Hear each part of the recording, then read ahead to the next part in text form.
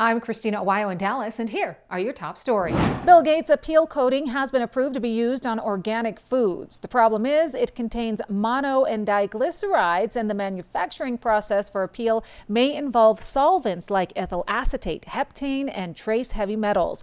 Mono and diglycerides are explicitly banned to be used on organic foods by the USDA. However, regulators approved Apeel as a fungicide, not a coating, a technical loophole that that gets around organic certification rules. So while you think you're buying clean, untouched food, you're actually getting produce treated with compounds that critics warn may leave behind residues like arsenic, lead, and palladium. Mono and diglycerides are only permitted in organic production for drum drying, not as coatings. Organipeel's use as a coating violates USDA regulations. Apeel makes on average $84 million a year. That's what you need to know in Dallas. Christina Aguayo.